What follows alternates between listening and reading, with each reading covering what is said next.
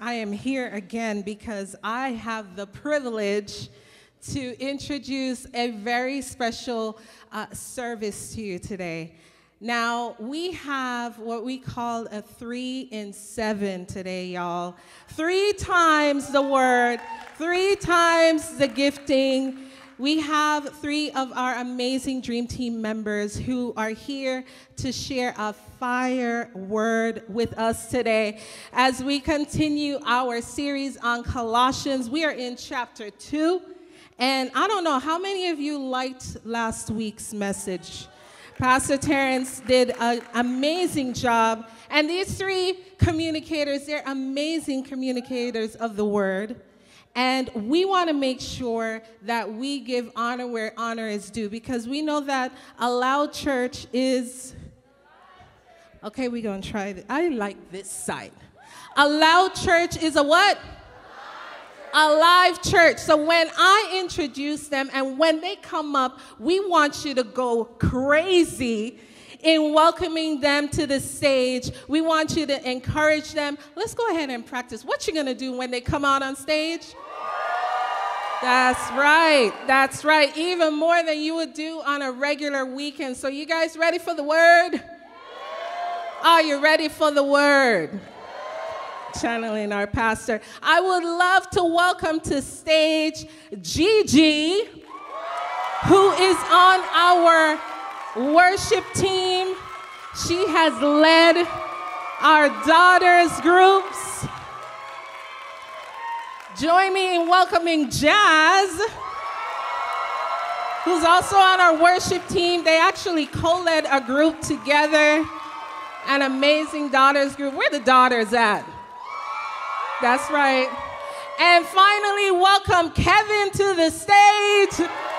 Kevin is our resident firefighter. We ain't got no fires here in the name of Jesus. He is on our safety team and he has led one of our amazing courses. Is Jesus really that good? You guys give it up for our speakers today.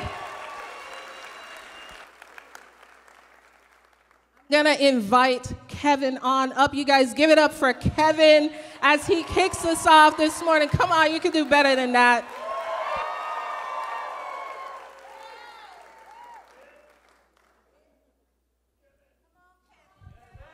All right, all right. That was quick. That was quick. Um, what's up, History Makers Church? All right, I first would like to thank uh, Pastor Terrence and Pastor Emma for allowing us this opportunity to share the word because um, it's a blessing, actually. Uh, so let's look at Colossians chapter 2, verse 6 through 7. And it says, As you therefore have received Christ Jesus the Lord, so walk in him, rooted and built up in him, and established in the faith, as you have been taught, abounding in it with thanksgiving. So I want to break these two verses down. First, it says, As you therefore have received Christ Jesus the Lord. Before you can do anything in your Christian life, you have to understand how you received Christ Jesus the Lord. And you received him by hearing the message of his salvation. And just in case you forgot the message, let's look at it. 1 Corinthians 15, verse 3 through 4. It says, for I delivered to you first of all that which I also received, that Christ died for our sins according to the scriptures, and that he was buried, and that he rose again the third day according to the scriptures. Now, what does this mean? Jesus lived his earthly life on our behalf. That means he died, and then he took our sins to the grave, and then he was resurrected, only to prove that he took all of our sins and he fully paid for them. So his resurrection has given us peace with God, which means God is now forever on our side. And why is that? Because we have exchanged identities with Jesus. By faith, Jesus temporarily became like us on the cross, so that by faith, we can permanently become like him in his resurrection. And because of his resurrection, I want y'all to hear these truths. Jesus is your health when you are facing sickness. He is your wisdom when you lack understanding. He is your provision when you are in need. He is your right standing with God when you see your failures. And all of his blessings are targeted towards you. You have to hear this and take this gift of the forgiveness of sins. That's how you receive Jesus. I know everybody feels familiar with hearing that Jesus died for all of their sins. But the question I have is do you actually believe it? Because if you don't remember it or believe it on a daily basis, and I specify a daily basis, the fruit that God wants to produce through you will be very limited. The next part of verse 6 says, So walk in him. The same way you receive Jesus is the same way you walk in him by faith. Faith in what? The message. The message about who? Jesus. Walking refers to how we live our new life. Our walk is based on our faith in our new identity in Jesus. Your walk is determined by what you believe, not by what you do. So if our walk is determined by what we believe, what can we do to make sure that we believe our new identity? Verse 7 has the answer. It says to be rooted and built up in Him. To be rooted means we have to be aware of and fixed in the knowledge that He has delivered us from the power of darkness and conveyed or transferred us into the kingdom of the Son of His love, in whom we have redemption through what? Through His blood, the forgiveness of sins. To be rooted means to stand firm in the truth that you now have the forgiveness of sins and that you are now in the kingdom of Jesus. You're not trying to be in the kingdom of Jesus, you are already in it. And you have to be strengthened by that truth. The next part of verse 7 says this and built up in him. You have to keep encouraging yourself that the perfect Jesus has now made you perfect.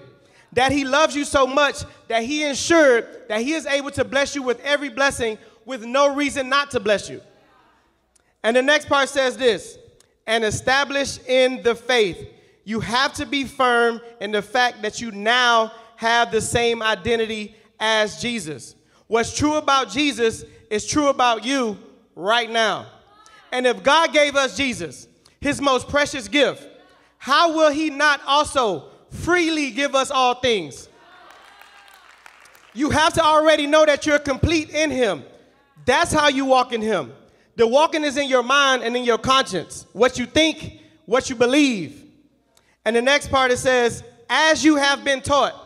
Now, the preachers and the teachers are the ones responsible for you knowing this message. And the message should be built on the same message that Paul preached. Why? Because his message is the words of the risen Jesus and not just the words of Jesus before he died and was resurrected. There's a big difference. And the next part says, abounding in it with thanksgiving. When you start to understand and grasp what Jesus has actually accomplished for you in the gospel, you will overflow with thankfulness and appreciation because you will begin to see how good God is. God really did save you so perfectly that you have become as holy as He is and as righteous as He is. He knows that the more you believe in what He did, the more your behavior will uh, conform to who you actually are. You will begin to see and experience how wonderful it is to have an inseparable relationship with God. You will see how much of a miracle it is for God to change you, knowing that within yourself you offer God nothing good. So I'm speaking to the people who struggle like I did. Some of you are struggling with a sinful habit, uh, something that you've been desperately trying to stop for a long time. And you want to know why it's probably been so hard for you to stop. It's not because you don't love God. It's not because you don't care about God. It's because you're not yet convinced that you have the same identity as Jesus. Instead, you are trying to be like Jesus. He didn't save us for us to try to be like him. He saved us so that he can make us like him. And if you have received his life, you are already like him.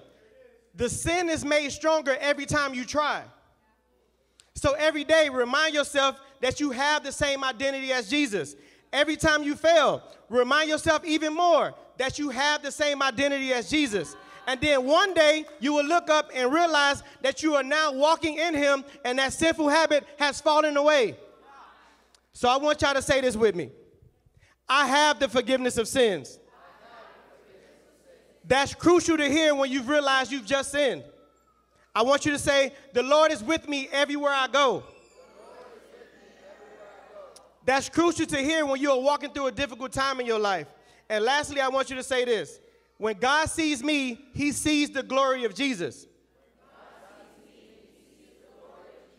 That's crucial to hear when you start to see more of your imperfections. The gospel is about his, his goodness, not ours.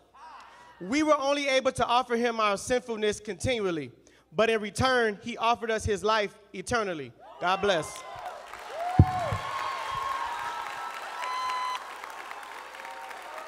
Uh, can y'all give it up for Kevin? So good.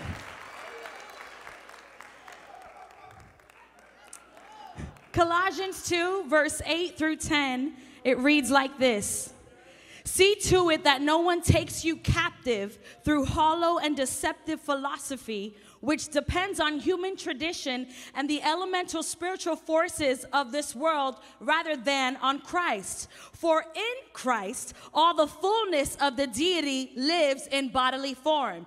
And in Christ, you have been brought to fullness. He is the head over every power and authority. Church, this morning I'd like to title this message, Fullness Lives in this passage, we see Paul, he's talking to the church of Colossae. And in verse 8, he's like, See to it that no one takes you captive. And I like to think of this word captive because it makes me think of like captivity or like a prisoner. Um, it, it just a, a clear picture of confinement, someone who's just not free. And Paul was warning this church to be aware of the falsehoods, of the empty lies that pass off as truth, and for traditions that don't look like Jesus. He says, See to it, make it your job, make it your business to not be held by these lies. My entire life, I've known of this Jesus. When I turned 12, I made the decision to give my life to Christ and I'm 32 today, so 20 years ago. And I want to talk about the age because youth, I'm coming back to you.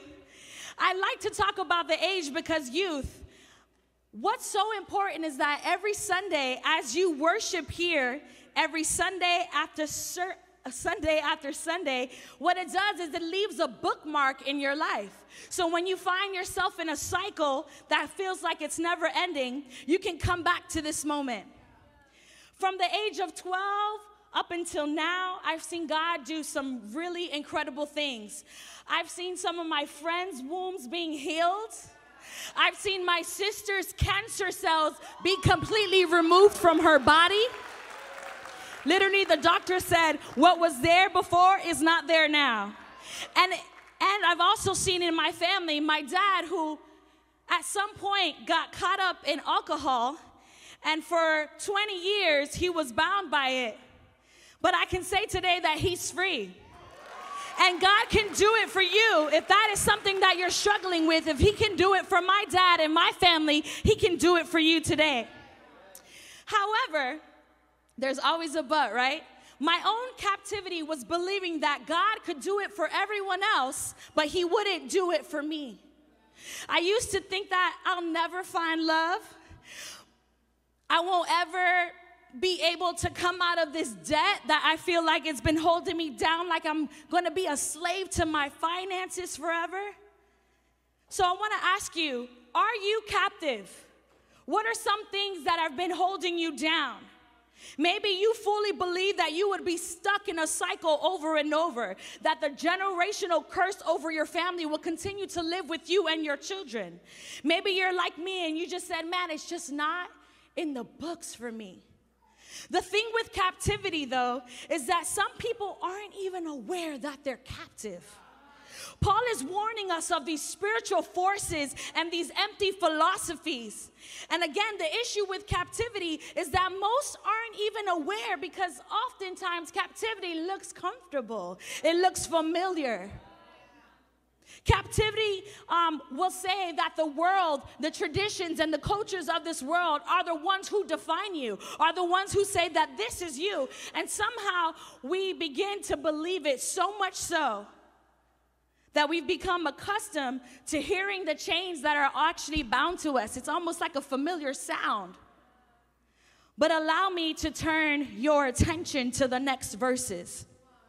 In verse 9, it says, For in Christ all the fullness of the deity lives in bodily form. And in Christ you have been brought to fullness. He is the head over every power and authority.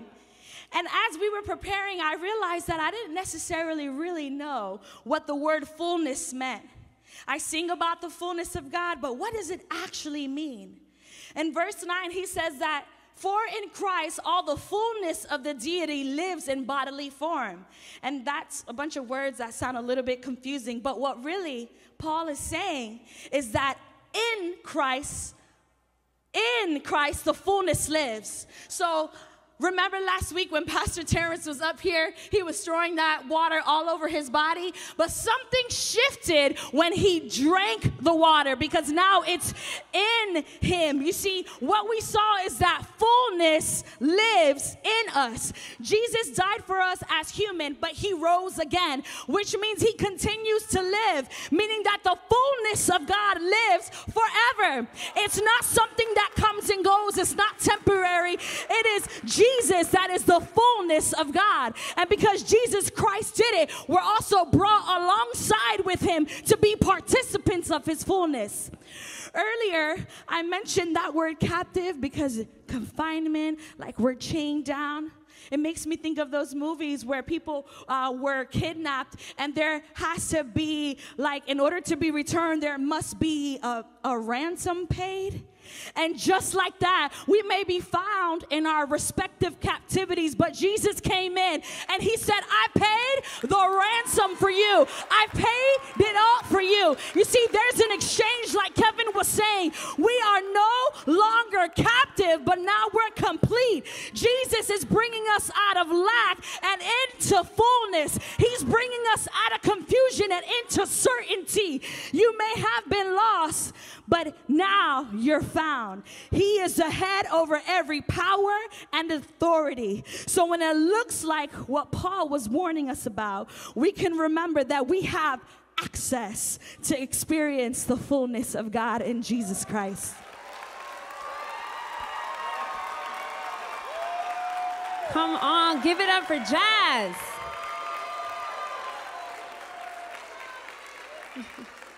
so good, so good. Good morning, church. So, we are going to jump into Colossians 2 13 and 14. And if I can tell you, I mean, highlight this, bookmark this verse because there's times like we have to just be reminded and we have to go back. And it says, And you, being dead in your trespasses and in the uncircumcision of your flesh, he has made alive together with him having forgiven all trespasses, having wiped out all handwriting of the requirement that was against us, which was contrary to us. And he has taken it out of the way, having nailed it to the cross. I want to speak of this thought of my debt was paid. See, before we have new life in Jesus, we are dead in our trespasses. See, a trespass is a specific kind of sin. It's overstepping a boundary. You know, like when y'all cross over that boundary of your neighbor's yard and steal their mangoes? I'm not looking at Joel, guys. I am not looking at Joel. okay, we are dead because we overstep God's boundary in sin and rebellion. But it says he has made us alive together with him.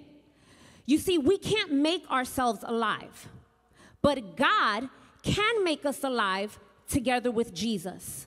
We can never be made alive apart from Jesus. And then it says, having wiped out the handwriting of requirement that was against us. You see, the handwriting of requirement has in mind a list of our crimes, our moral debt before God. What might that be for you? Maybe it's lying. Maybe it was an abortion. Maybe it was infidelity. Maybe it was something you did last night. What is that for you?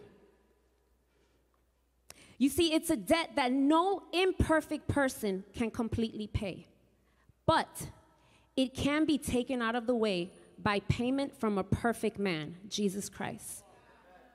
This means that the document that once condemned us is now taken out of the way, having been nailed to the cross. See, Jesus not only paid for that writing that was against us, he also took it out of the way, nailed it to the cross. He did everything possible to make certain that the handwriting of requirements that was against us could no longer accuse us. You see, I love how Paul wasn't just writing to the church to remind them, but he was living in this truth. Can you imagine if Paul, who persecuted Christians, and I'm not talking about like, oh, he used to make fun of them or talk about them, he violently persecuted them. He was a part of them being put in prison, beaten, and sentenced to death. But what if Paul would have let the guilt and shame of his past prevent him from fulfilling what God had called him to do? He started more than a dozen churches and is considered the author of 13 books of the Bible. See, we need to be reminded that Christ not only nailed our sin to the cross, but he wiped it out. For those of you that don't know, I am a PK, and that's a pastor's kid for those who don't know. Are there any other pastor's kids in, in here? Okay. so I was basically, I was born in church. My dad started pastoring at the age of 20 years old while he was still in Bible college. So I grew up in church. I was always hearing the word of God. I knew the word. I had the best parents. Like my parents, I'm not gonna say had because they still are. I have the best parents, um, and I could not complain.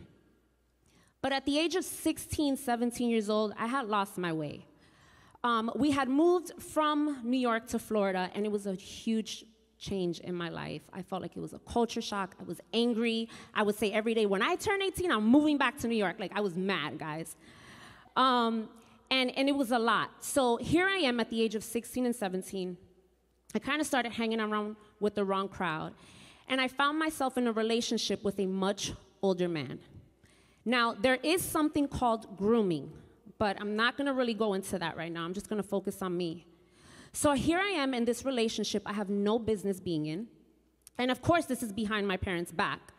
But how many of you know that what is hidden always comes to the light? And it says it in Luke 12, 2. There is nothing concealed that will not be disclosed, or hidden that will not be made known.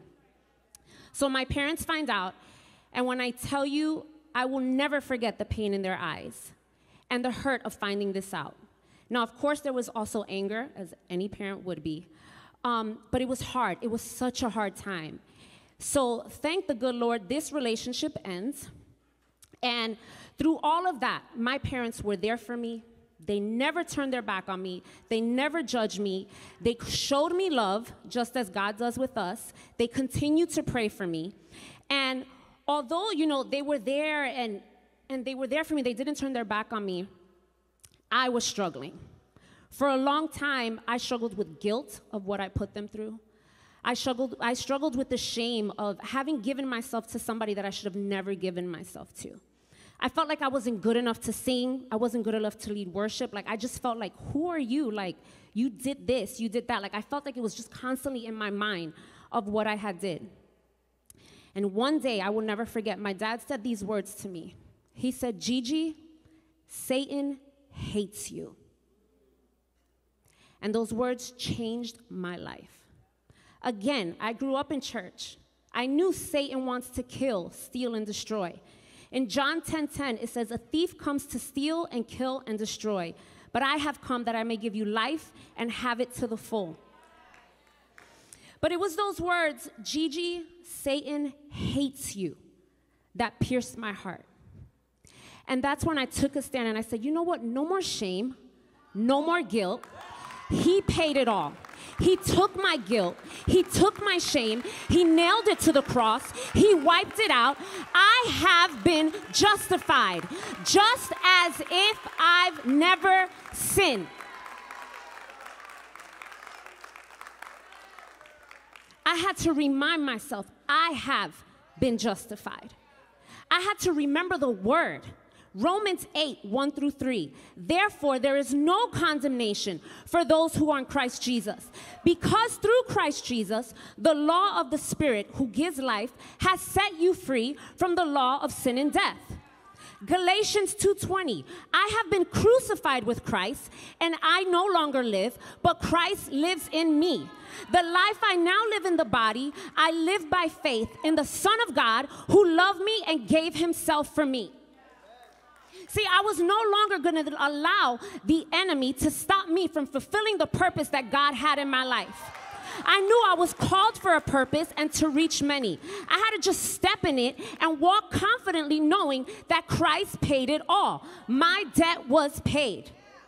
And in Colossians 2:15, it says having disarmed principalities and power, he made a public spectacle of them, triumphing over them. And I love that part because I can picture Jesus like, ha, y'all thought you won? He triumphed. And because he triumphed, I have triumphed. I had to remind myself who I am in Jesus. I am redeemed, I am forgiven, I am chosen, and I will live from that place of grace. So, church, I want to remind you this morning you are forgiven, you are chosen, and you can also live from that place of grace. See, my debt was paid, your debt was paid, and how was it paid? It was paid in full.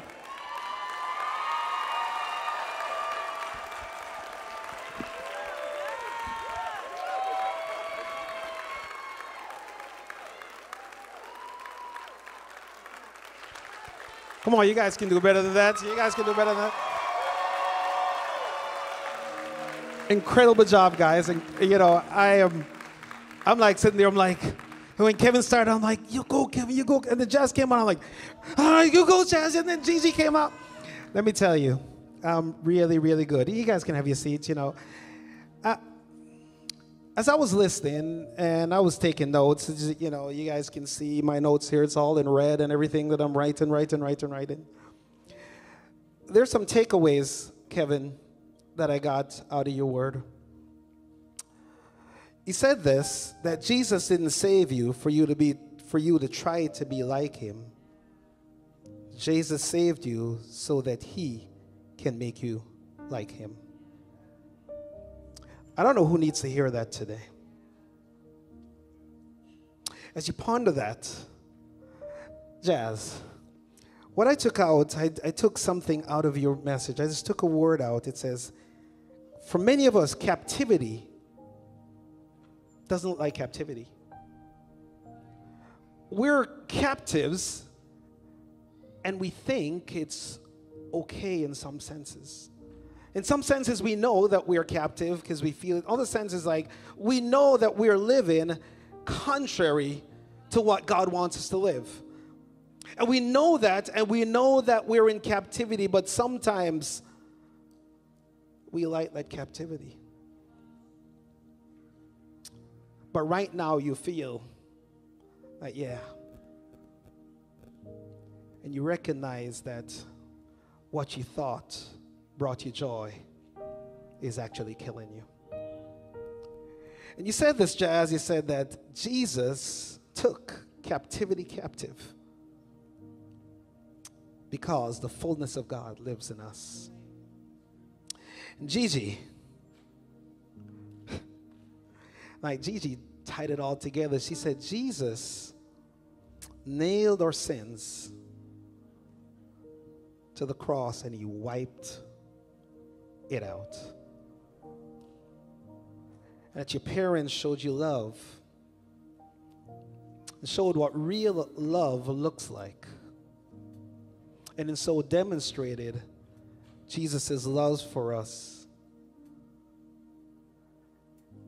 And Gigi's parents looked at her just like how Jesus looks at every one of us as justified, which literally means just as if I never sinned. Just as if I never messed up. and you said something, Gigi, that that really hit me. You said what your father told you. Satan hates you. I want that to sink in for a moment. That whenever you're doing something that's contrary to what the spirit that lives inside of you It's coming, it's being influenced by somebody who hates you. What may feel like fun is coming from somebody who hates you. Three words captivity, fullness, victory. Captivity. We were all once held captive, but through the fullness of Christ, we have the victory. You know, our enemy, he comes to kill, steal, and destroy. The passage was read earlier, John 10 10. He does, he does it in three ways. He's a deceiver. And the first thing that he does is that he convinces us, convinces you and me, go ahead. It's okay. It's fun. It's on Netflix. They're having a great old time. And he like speaks into our minds and he says, Goes and do it. Go and do it. So he deceives. And the moment that you do it, he switches from deceiver to accuser. And he turns the table on you. And the reason why he does that is because he hates you and he hates me. And he accuses you and says, You ain't no Christian. You ain't no follower of God. How could a follower of God, how could a follower of Jesus do? And he starts to accuse you of all the things that he himself convinced you to do. He doesn't play fair because he hates you.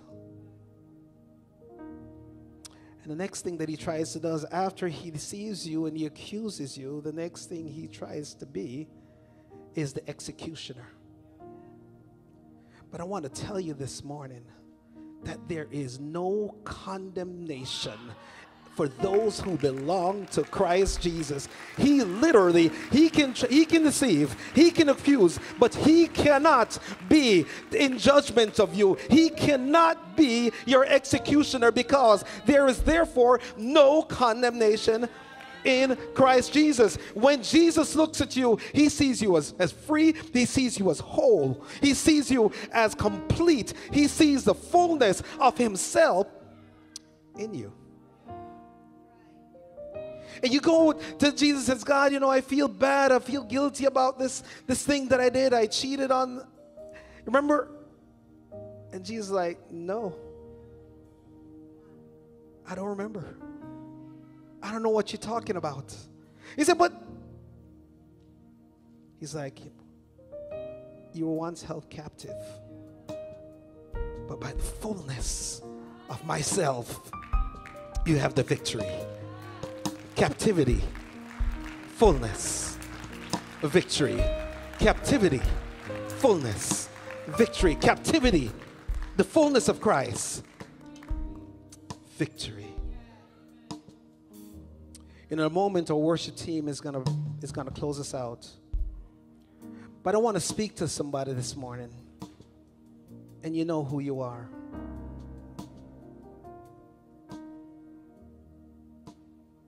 That you're struggling with shame, you're struggling with guilt, you're struggling, you're struggling with feeling condemned. And the enemy who hates you has got your mind spinning. You're struggling with unbelief. Kevin, what did you say? You said something about faith here that said, We walk by faith, not by what we do. And so you believe in some things about yourself that God says it's not that's not the case. That's not true. That's deception. So I'm going to ask everybody to kind of kind of close their eyes to respect the person around them. That right now if you are struggling and nobody's looking except me, and Jesus, that if you're struggling with shame, if you're struggling with guilt, if you're struggling with fear, if you're struggling with believing something that God says that is not true about you, I want to raise your hand and I would like to pray for you. I see those hands. I see those hands. I see those hands. Yes, over there. I see those hands in the back. I see those hands there. I see those hands. I see. Yeah, keep your hands up so I can recognize you. I see you. I see your hands. I see your hands. I see your hands. And I'll pray for you in a second. But there's some people right now who's like, yeah, I'm feeling condemned and I don't feel the fullness of God. And maybe it's because you have never accepted that free gift of salvation. And God is saying to you right now that today is the day of your salvation. Today is the day when no more guilt, no more shame, no more fear, no more condemnation. It stops right here. And if you want that to be your story, where you can live in peace, if you just raise your hand, I want to pray for you. 1, 2, 3, 4, 5, 6, 7, 8, 9, 10, 11, 12, 13, 14. Come on, let's give the Lord Jesus a clap. Let me just pray for you right now. Father, I pray, Lord, that the words through these great communicators' mouth, that your words that you spoke through them, Lord, will permeate the minds, the hearts, the soul of each and every person here, Lord, who raised their hands, and even those who were too shamed and afraid to raise their hands. God, I pray that the truth of your word, the truth of you living inside of them right now, will start to come alive. Will start to come alive and will start to bubble up and says, I am the righteousness of Christ. I am redeemed. I am called. I am who you say I am. Lord, I pray that those words will really be their story, Lord, that we will hear testimonies that today, on the day before Memorial Day, on May 28, 2024, the chains were broken and captivity was turned around and made captive. God, right now, I just also want to pray for those who wants to receive the gift of your salvation. The permanent gift of your salvation, which is the completed work of Christ. That when you went to the cross, you said, Tom, John, Susan, whoever your name is, feeling right right here that he says, I took your sin, what you did yesterday. I took your sin, what you're doing right now, right now, the thoughts that went through your mind prior to coming to church, and I'm taking away anything that you could ever do tomorrow, and it's canceled. So, Lord, with this prayer, I'm going to ask everyone to say it just to be in support of everyone who raised their hands to say this prayer. Let's say it with me. Lord Jesus. Lord, thank you for, for you letting me get in this gift of salvation. Lord Jesus, I turn around and I just face you only. I thank you for your gift of your Holy Spirit that is now living inside of me. I thank you for freedom. I thank you for peace. I thank you for joy. And I thank you for you. In Jesus' name. Amen. Amen. Amen. Amen. We are celebrating with you and we want to walk this journey together. And if you prayed that prayer or you want to know more about Jesus, follow the prompts that are on the screen right now. Our vision is God's vision for you, and that's to see you live a better story, holy, healthy, happy, and bringing heaven to earth. And if you've been impacted by what you hear, partner with us. Yeah, together we can make both an epic and an eternal difference. The giving options are coming up on the screen to share the love and see people meet Jesus and live that better story. Hey, and if you're in the South Florida area, we would love to see you in person. Check out the description below for times and places where we can meet, and we'd love to see you soon. Yes, where friends become family at History Makers Church.